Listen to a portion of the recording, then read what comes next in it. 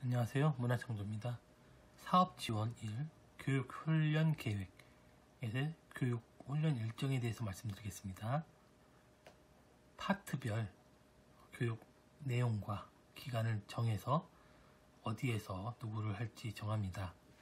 그러니까 이 파트는 각각의 세세한 플랫폼에 대한 파트들이 있을 거고요.